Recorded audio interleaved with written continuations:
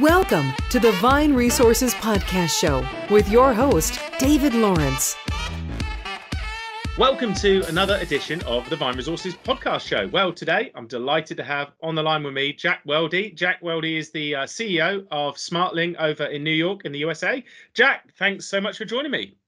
Thank you, David. Delighted to be here. I uh, hope it's a sunny day for you where you are right now it's actually gorgeous. So, you know, obviously, um, you know, we're all in lockdown. I don't know when your podcast is going to air exactly, but we're all in lockdown right now still. Um, we're in the New York City area, which has been very hard hit uh, right now, but I'm actually sitting outside in my yard. The sun is shining. You may hear birds in the background, and it's one of the first days to actually get outside. And frankly, I kind of needed it after being on lockdown for you know over two months now. well, well, we're going to touch on that in a minute, Jack, because I'd love to have your insights for it. What, Jack? Just before Excellent. we get started, if you could share with our listeners just a little bit about who you are and and Smartling, please. Yeah, sure. Um, so, uh, so Smartling is a, a, company that helps other companies to translate and localize their digital content into multiple languages. So, companies come to us when they need to translate their website or their marketing materials or training materials, whatever it may be, into multiple languages French, German, Spanish, Chinese, Hebrew, whatever the languages are that are appropriate. And we have a technology platform and a service that helps companies to do that very efficiently, very effectively, and produces really high quality translations that are on brand that are appropriate for your hotel group your software company your e-commerce company your travel and luxury, luxury uh, company your automotive company whatever it, whatever it may be. We've been in business about 10 and a half years a um, little about little bit about me um, so i'm the founder and ceo of the company my background is in computer engineering with a um, concentration in linguistics uh, from university i've been involved in startups for much of my career in technology startups. Uh, sold my first company to Apple um, out of out of college, and have been involved in technology companies pretty much ever since. And I spent about ten years in the middle as a as a military pilot with the U.S. Air Force and saw the world, did lots of interesting things. Fantastic! Wow, I'm sure you got some great stories there. And Jack, just out of interest, who, who um, I don't know if you've got any stats or any information on organizations who perhaps before they've gone through that transition of translating and and the value add that it's brought to their business what what what, what how does it how does it impact companies who who take advantage of your service yeah there's lots of stats on on this and there's a couple different organizations that have done research and we have our own research on this as well but some of the stats that we hear are you know things like i mean first of all it's it's pretty obvious you know if you want to sell to someone you really need to be speaking in their in their native language. If you want to have a connection with someone you really need to be speaking in their native language. And so there's a lot of stats that say things like you know um, you know something pretty close to about 60% of people you know don't want to check out on your e-commerce site if it's not in their native language even if they're comfortable with english. And i think that's that makes a lot of sense but we also see stats that say that when companies do translate and localize their content, and especially in a world where you know everybody's buying online everybody is i mean the pandemic certainly has has taught us that it really is a small world and we're all experiencing the exact same thing globally. You know if you are not providing your products and service in in people's languages, they're not going to buy. And so we see oftentimes that there's a 5x, 10x, 20x, even 25x return when companies translate and localize their digital content. Fantastic. And what's what's the sort of process and the technology that that a company would go go through and benefit from in in in utilizing yourselves? Yeah, so it's interesting. You know, a modern company that is has a website, has a mobile app, has marketing content, marketing emails, hmm. has different campaigns that they run. A modern company has a lot of different platforms where they create and store and broadcast that content. It could be a content management system for their website, it could be an e commerce platform for their e commerce site, it could be a mobile application development tool that they use for their mobile applications. It could be a source code repository where developers are storing all of their source code. It could be, you know, support content where you, you know, where somebody might say, "Hey, I'm having a problem with something," can and I'm, I want to go look for that support content. So the modern enterprise today has somewhere between you know five and 25 different places where they are storing and creating and syndicating that that content. And so what Smartling is able to do is to hook into all of those different places. And then when somebody creates content that says, "Oh, this probably should be in French, German, and Spanish, or whatever the languages are," then Smartling can capture that content, pull it into our platform, put it into the right workflow, and figure out how to actually translate that content. And then when it's translated in a very high quality, appropriate way, it automatically deploys it back into that platform. It just makes it a lot easier for companies to be able to to, to do that. Fantastic, fantastic. And look, you know what I was going to ask you what a tradition, what a typical day in the business looks like for you. I'm going to ask you, ask that bird in the corner to, to ask. if you ask him to yeah. tone it, tone it down a little bit. No, I'm just kidding. Yeah. Um, we were we were talking about a typical day in the business, and and then you mentioned to me just off off air about you know going outside enjoying the birds. T- tell me what. Tell me about the, the day, how it looks now in a in a post COVID world right now, but also how, how is it impacting your own well being as a, as a as a founder, and, and what changes what positive changes have come from it for you?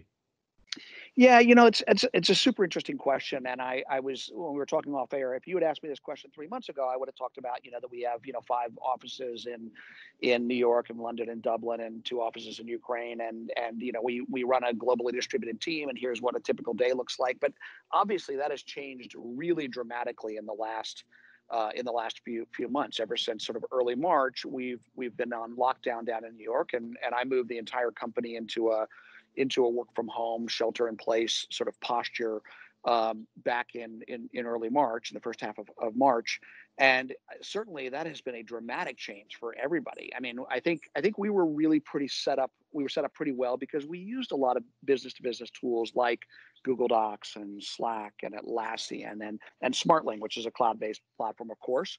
So I think we were in a better place to be able to continue to conduct business than a lot of businesses are, but it certainly hasn't been easy. It certainly has been unusual, and we've kind of had to make it up as we as we as we go along. We've found that um, you know we found that uh, I found as a leader that you know trying to lead and manage a hyper distributed team of you know of hundreds of people around the world has suddenly become much more challenging. When we have a a company all hands meeting it's it's kind of me talking into a laptop and i can't read the body language or mm. or see the feedback from from from from from my my company employees and so on we found that you know a startup that tends to be a lot more ad hoc by nature we've had to build in more checklists and and documented processes and, and run books and and even as we recruit additional people you know who will probably never show up in an office for the next who knows six to 12 months if ever um, that's been a change in sort of thinking about how do we create a more rigorous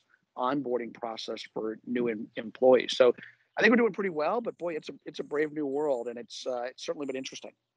Well, you talk about that, and um, you know where people may never go back in an office. How how how can organisations plan? Do you think for that for that change, and you know where they might have real estate that's costing them hundreds and thousands of pounds or dollars, you know, and and how do they how do they manage to to navigate that path? Do you think?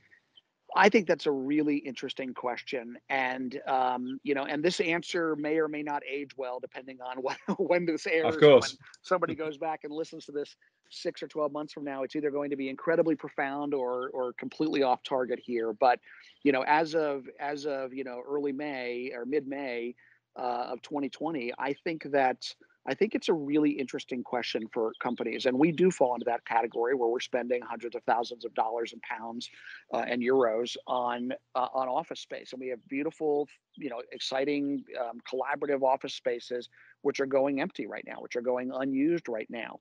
And as you know, what we're finding is that out of my you know hundreds of employees, that some of them have never been more productive. My developers, my um, more introverted folks, my tech and data folks, and not to generalize too much, I think frankly have found that not commuting and and being able to just you know stay focused on the work that they're doing has been incredibly productive.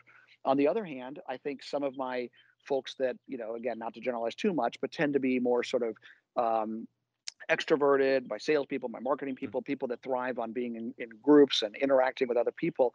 I think that they're finding this to be more of a more of a, of a, of a challenge. As a CEO, I'm looking at this as an opportunity to reinvent ourselves a little bit here. I don't know when we're going back to the office. I don't know when we're going to have sufficient tests and sufficient tests of who's, you know, who's had COVID and has the antibodies and had a test on an ongoing basis. I don't know whether, you know, people in the company are going to be incredibly excited about going back to the office. I think some are or other people who are have a little bit of trepidation about it like maybe i have an underlying health condition and i'm not I'm concerned about what this might look like to go to go back into the office.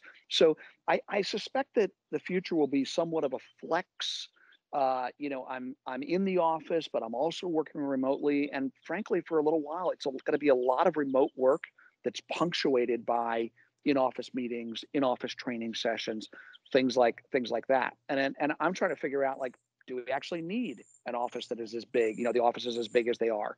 Is it better to have something that I can flex, you know, bigger or smaller on demand uh, from there? There's no question as a leader that that I think it's much more difficult to lead people when you when everybody is remote. I you, there's unquestionably it's better to have people in the office and you can look people face to face.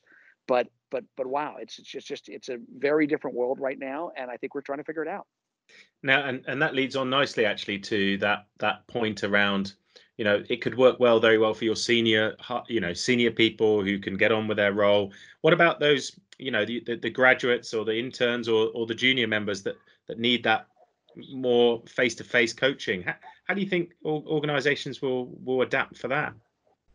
Well, I think I think we see it in in the use of Zoom and Microsoft Meetings and other other products uh, for that, and um, but I think it's going to be a little bit different. I mean, we're we're still I still consider us a startup, even though we're you know 10 and a half years in the making at this point. Um, I still think of us as a startup, and that means that we tend to be sort of you know more ad hoc in our in our processes and so on. But as we recruit newer people, as we recruit recent graduates, as we onboard people, I think that we will have to put more discipline and rigor in what those processes look like. What are the checklists for how we hire people?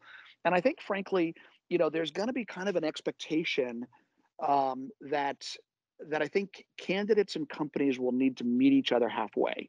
I think that a candidate that sort of assumes, hey, I just thought that the company was going to, you know, meet me 90% of the way there and just sort of spoon feed me everything that I need to know in a post-COVID world, I think is not going to work particularly well. And I think companies that think, you know, hey, I just expect my candidates to roll with the punches. And yeah, we're all distributed remotely and you've never met any of your teammates in person, but hey, do a great job.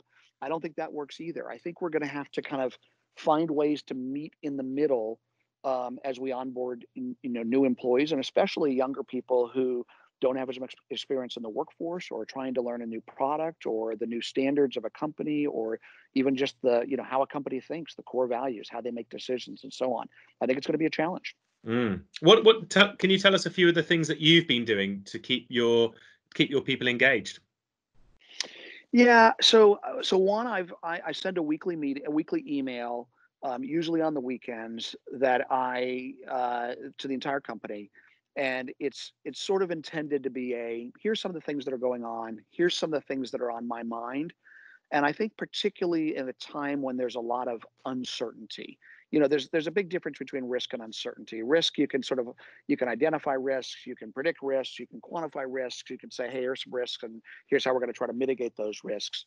But there's so much uncertainty right now where people just don't know the answer. I think people are looking to their leaders to say when can i go back to work? And i don't think the leaders really know. And so you know i try to send an email out weekly that says here's what's on my mind. Here's the way i'm thinking about it. Here's the the framework that I would use to sort of think about how we would go back to work. Here's some of the things that we haven't figured out yet. Here's some of the things that are going really, really well in the company. And here's some things that I think are too soon to tell or that, you know, frankly are a little soft or things that we, you know, probably could do a little bit better. So I try to send a weekly uh, email that I think generally um, uh, is a good way of communicating with the team. The other thing I do is, um, and I, you know, hopefully this won't sound too terribly sort of artificial, but I have an org chart and I basically kind of go down the org chart and I try to reach out to five to 10 people on the team every week. And I just reach out to them by email or in Slack or some other way. And I just kind of say, Hey, how's it going? You know, what's, what's going on? What's your situation? How are things going right now? Um, you know, there's, there is a lot of fear and trepidation in, in the, you know, in the, in the, in the world right now, in the workforce and, you know, so many people have lost their jobs. I think we're at, you know, 39 million, you know, US workers are out of work right now. Um, this announced this week. Um, so when I send that message, I include a lot of exclamation points and a lot of you know smiley face emojis and thumbs up emojis just to make it clear that hey, I'm I'm reaching out just to say hey I care. I I'm curious what's going on in in your situation. Many of my employees are in are in big cities like New York and London and Dublin, and uh, you know, and, and frankly, some of them are in challenging living conditions. You know, they may live by themselves in a really tiny apartment that they only intended to ever kind of sleep in. And, you know, maybe they don't have a good internet connection and they're kind of lonely. And I think that's a really challenging environment. Some of my employees have small children and they're trying to figure out how to work and live and take care of their children at the same time. And so I just try to reach out and just be like, hey, how's it going? How can I be helpful? Um, some of my employees give me a very quick response, and frankly, some of them write a book and and want to have a conversation, and I'm happy to do both. These are mm. these are these are weird times. These are strange yeah. days. Totally get it. Totally get it. Um, what, are, what are you What are you hearing, David? What are you hearing that other companies are doing? Maybe I'll pick up a tip on this one of what what we should be doing in this hyper distributed world. What I should be doing as a CEO. I think um, I think you, you obviously said a lot of those things. It's it's obviously st- people are staying staying close to the team lots of people are obviously doing lots of different uh, quizzes and games on Zoom. You know, getting yeah. together every week. Someone's leading that off. There might be well, that might be traditionally more English, but uh, you know, drinking games on a Friday with a with a team. Um, coming up with different ideas of connecting connecting with people, WhatsApp groups, uh, Slack groups, as you said, Slack channels, being available. Um, I think just hearing other people's stories. So I think people are also sharing from their employers what other people are doing. Um, and I think I think I think all of those things. It's trying to keep everyone close. I think you, you hit the nail on the head there. I think some people are. It, it's pretty lonely speaking to other candidates. Motivation is one of the things that I'm hearing a lot. So yeah. whether that's people in in work or out of work, um, you know, their routine. Some people's routine is is is completely broken. Um, you know, if you were going to the gym a few months ago, perhaps your gym is still shut in some places. Certainly for for, for us um, what are they doing and how are they changing that routine so i don't know are you are you, are you what are you doing as well around that motivation how, how do you think people can motivate your your your own employees or, or themselves. What what's what's the best way forward do you think? Yeah i think some of it is just is is is self-discipline and and that people have to kind of find that that way themselves. I have a park that's about 100 meters from my house that i try to take a you know at least a three mile you know walk every single day or, or go for a run. Um, you know uh, you know personally that's kind of my my mental space because i think it is too easy in this work from home environment to kind of roll out of bed at six in the morning and then you find yourself rolling back in, into bed at 10 mm. o'clock at night and you know wait i didn't even leave the room there um, and so I, I think that you know people have to you know they've got to take care of themselves they've got to take a shower and brush their teeth and they've got to you know get outside and and you know see the sunlight and and and exercise and and and eat healthy i you know personally i'll, I'll share that you know i found it a little bit too easy to you know eat a lot of you know comfort foods and cook a bunch of stuff up in the instapot and and uh, you know and eat a lot of you know bread with you know with delicious jam on it and things like that that frankly when i you know i probably didn't do when i was you know when i was you know racing back and forth into the in, in into work and so on and so um, but i think that's i think that's that's a part of just sort of like living your life and continuing to make sure that you, that, that that that that you do that. We know from a work perspective, we do try to share a lot of metrics of the things that are going well. We try to celebrate the wins that we have. We try to find the small victories, whether it's deals that are coming in that we're excited to land, whether it's you know hitting certain targets, whether it's people celebrating you know life events and birthdays. Um, and I liked a lot of your suggestions as well. We have a we have a team that takes care of uh, uh of some terrific people on the team that that think about and are frankly a lot better than me at at the you know the culture uh, games and the trivia nights and the and the you know BYOB you know sort of events over Zoom and things like that. That's been going really really well. I That's like your great. suggestions. I, I do you know I haven't shared this with anyone on on on um, on anything live recently, but um, I actually um, I actually went through the symptoms of the virus about seven weeks ago, and and oh, some really? of, yeah, and some of the things that it, it went on for about six weeks, hallucinations, mm. funny dreams at night, um, you know, lethargic. My legs were were super tired, like couldn't even get up in the morning. But ah. recently, what recently what I've done in the last two weeks is, like you said, I've got up at seven, walked outside, sat on a bench, and done a, a breathing meditation for ten minutes. And I think yeah. you're, I think you're right there. Even if you're in a wherever you are, you know, if you can get out for ten minutes in the morning, even if you don't feel like running or doing any exercise to completely, even if you can go out and just breathe breathe some air and, and see some daylight um, that's super important. Um, i totally agree with that. Well i'm sorry that you went through that david and, uh, well, are, are, you feeling better now? Well, I'm out the other side, so um, you know, I, I, for anyone who's who's been through it or going through it, you know, just uh, keep keep keep positive. Is there is there um you know you you you just touched on a, a great mention point of you being in the in the armed forces um, um, for 10 years i yeah. think. I'm sure you i'm sure you've got some great stories there. But is there is there any stories that you've got from your your childhood or even maybe your your your military career that influenced your work ethic in later life that you could share if there was one one that you could share with us? Well, I'll I'll admit that a lot of the ways that that um, we have structured the business and the the way that we make decisions and sort of the core values that we use in the in the in the company, I, I stole a lot of them from from from the military, and it's not just the U.S. military. It's it's you know it's the, it's the British military. It's you know lot, lots of of of military organizations have similar sort of ideas around um, things like you know good today is better than perfect tomorrow or you know and, and said in different ways like when when something comes up and we're going to figure out the plans of what we're going to do we plan it to about a 70% level and then we start executing. Why do we not get it to 100% because you're never going to get to 100% you're never going to get perfect. And instead it's better to do that planning which is critically important but get it to about a 70% level and recognize that you're always operating on some form of imperfect information and start executing because your plan's going to change you're going to learn things the market's going to tell you certain things and then you can continue to modify you know from from from that i would say that that is one of our core values and i think the other one you know we've got five of them i won't go through all of them but the other one that that certainly the military um, makes you know certainly taught me and, and is a really really important one our our anchor core value is take care of our people now, that's not an easy thing to always do. And, and I can't pay every single person in my company a million dollars or a million pounds a year and give them all 360 days of vacation a year. That's not taking care of our people. But there are ways to think about what is the right balance between the needs of the individual, the needs of the company, the needs of our clients and partners?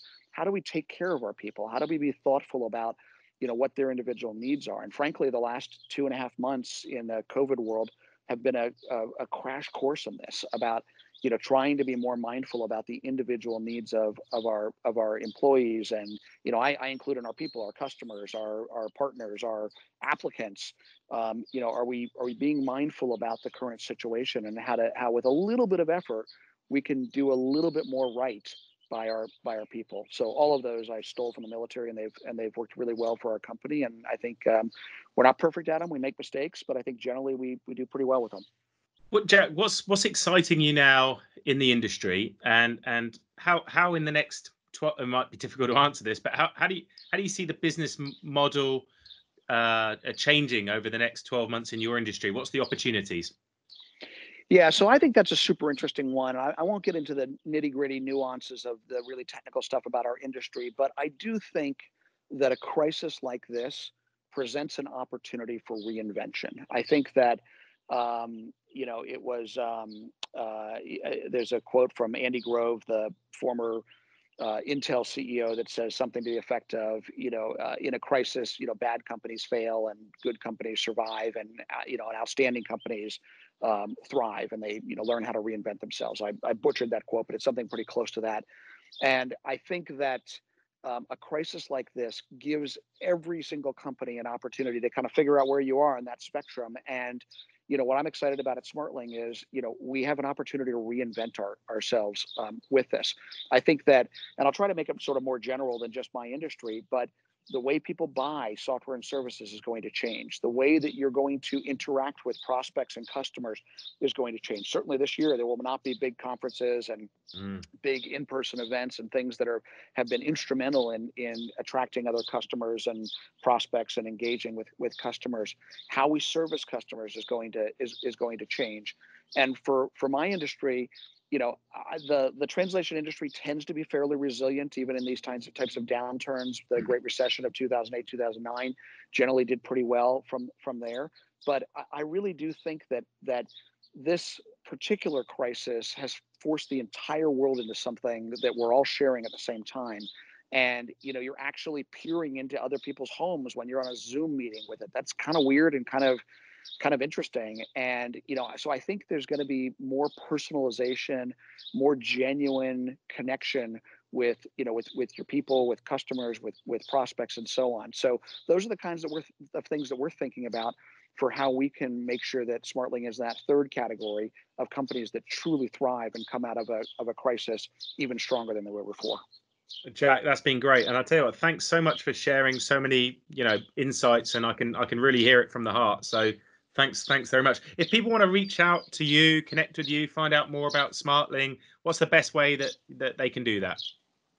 Smartling.com, S M A R T L I N G.com is our website, and you can find me on LinkedIn, Jack Welde, W E L D E. And I'd love to hear from you, David. This has been great. Thanks for having me on the on the show today, and thanks for the great questions. Yeah, you're more than welcome. Speak to you soon. Speak to you soon. Bye bye. We really hope you enjoyed the podcast today.